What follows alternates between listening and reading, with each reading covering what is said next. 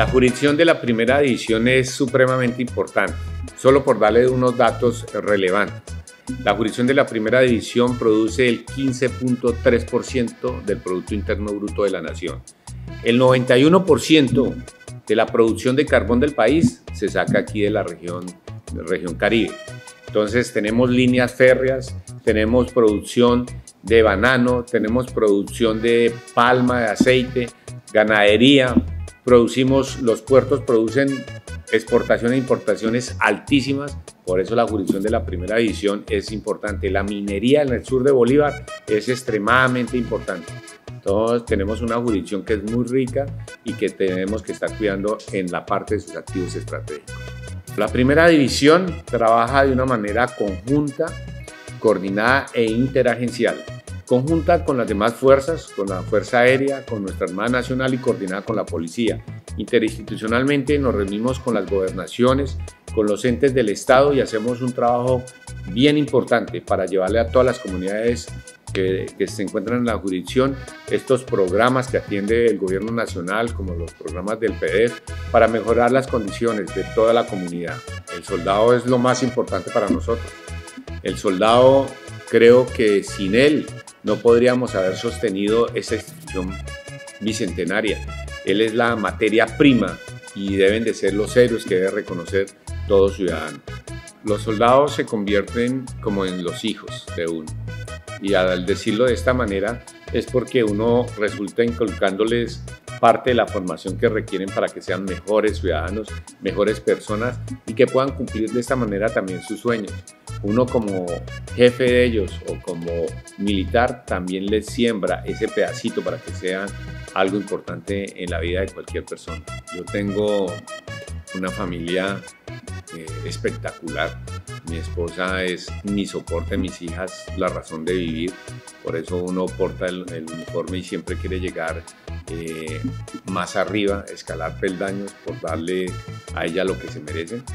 Entonces mi familia es el soporte realmente y hace que valga la pena todos los días amarrarse la bota derecha y pararse por luchar por ellas y por este país. Mi familia me llena de felicidad y orgullo.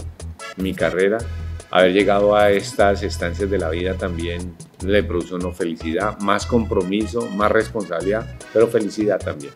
Una de las experiencias más difíciles de mi carrera militar es que en alguna oportunidad por situaciones de desarrollo de operaciones un soldado falleció en mis brazos y eso es algo que me ha quedado marcado por toda la vida y no la he podido olvidar ni la voy a olvidar porque todos los soldados que pasan por uno son suficientemente importantes para que le duela el sufrimiento de ellos. No olvido el batallón Nariño, me encuentro en parte de la jurisdicción de la primera división sur de Bolívar, eh, cuando estuve en el año 2006-2007, fue una unidad muy, muy querida, donde tuve resultados operacionales muy importantes e interactué con las comunidades de esta importante región del país. También recuerdo la Brigada 16 en el Casanare, una brigada importantísima, muy querida también. Y me gusta mucho la jurisdicción de San José del Guaviare, también estuve allá. Y hay unidades que uno nunca olvida. Todas las unidades tienen algo que le queda a uno en el alma. Eh, el Amazonas, estuve también en el Comando eh, Unificado del, Sur en ese momento y en el Bicel 50, que es el batallón de selva que tiene el Amazonas, que tiene bases en Tarapacá, La, Pedrera, Puerto Nariño, Araraquara. Son regiones muy importantes. Todo el país para mí es muy bonito, pero esas son algunas unidades que son bien significativas en mi trasegar militar.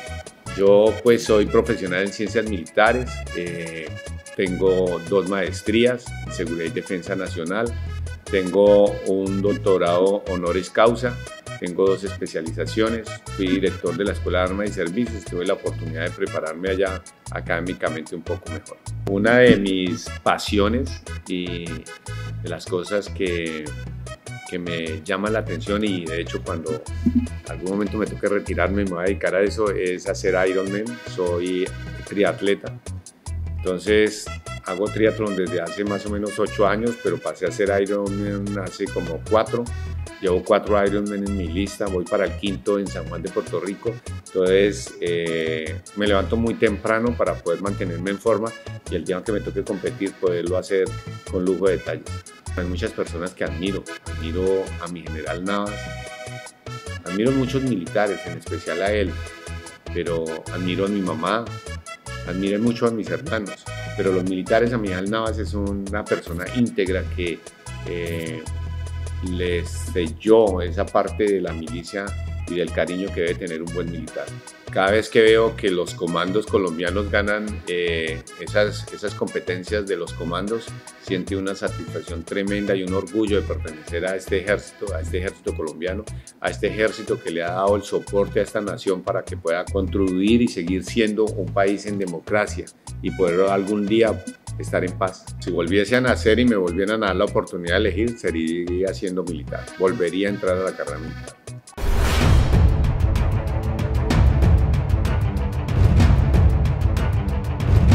Ejército Nacional. Patria, honor, lealtad.